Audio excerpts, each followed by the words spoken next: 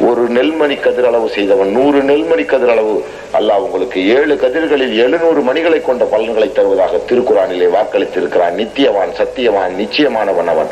அவன் வாக்கு தவறாதவன். அவன் வழியில் நடந்தால் அவன் வாக்கு தவறாமல் உங்களுக்கு ரிசக்கை அளப்பான். உங்கள் ரிசக்கை நீங்கள் தேட முடியாது சகோதரர்களே. ரிசக் என்பது இறைவனுடைய ஹக்கிலிருந்து வர வேண்டும். நீங்கள் ஹக்கான மும்மீனாக நடக்க வேண்டும். நீங்கள் உள்ளத்தில் பட்சியாக ஓநாய்களாக இருந்து கொண்டு வெளியில் மூமீன்களாக வேடம் போட்டால் உங்களை மிக கூர்ந்து கவனிக்கக்கூடியவன் ரப்பாக ரஹ்மானாக இருக்கிறான்.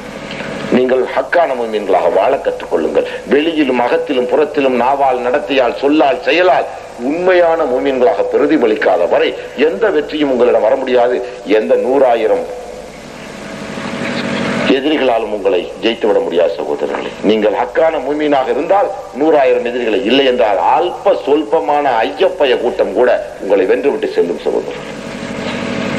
என்னை பொறுத்த மட்டில் நான் ஹக்கான மூமியனாக வாழ்கிறேன். வாழ்ந்தேன் முப்பது ஆண்டு காலம் எவனுக்கும் தலை வணங்காமல் இறைவனை என்று எவனுக்கும் தலை வணங்காமல் நான் என் லட்சிய பயணத்தை தொடர்ந்து செய்வேன். இன்ஷால்லா இன்னும் வாழ்வேன் நான் சாகும் வரை பணிய மாட்டேன். என்னை யாரும் ஒன்றும் செய்ய முடியாது. என் ரிசக் என்பது இறைவனிடமிருந்து இருக்கிறது. எனக்கு நிர்ணயிக்கப்பட்ட தேதி வரும் வரை என்னை எவனாலும் ஒன்றும் செய்ய முடியாது. எனக்கு என்று ஒரு தேதி நிர்மணித்தால் அந்த தேதி நேரம் யாராலும் என்னை காப்பாற்ற முடியாது. அழைப்பவன் அழைத்து செல்வார் நான் விதைத்ததை விதைத்து விட்டு வெற்றியாக வெற்றியாளனாகவே அல்லாவிடம் செல்வேன். நிச்சயம் நாளை எனக்கு ஒரு மறுமையில் எனக்கு ஒரு சிறப்பான இடம் உண்டு. அதில் சந்தேகம் இல்லை தெளிவாக இருக்கிறேன் வெறியாக இருக்கிறேன் அதன் மீது காதலாக இருக்கிறேன். அந்த முகமத்திலே காலத்தை கழிக்க அவசரமாக ஓடிக்கொண்டிருக்கிறேன்.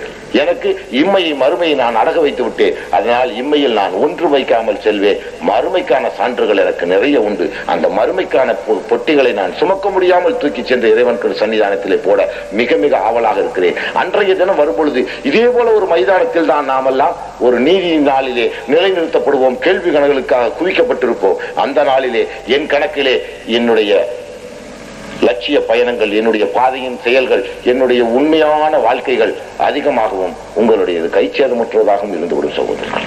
நீங்கள் என்ன ஏமாற்றலாம் அல்லது ஏதோ காதல விழுந்ததை கேட்டுட்டு சிந்தையில போட்டுட்டு போலாம் ஆனால் செயல்படுத்தக்கூடிய முஸ்லிம்களாக நீங்கள் மாறாத வரை நிச்சயம் உங்களுக்கு மறுமை கிடையாது சகோதரர்களே.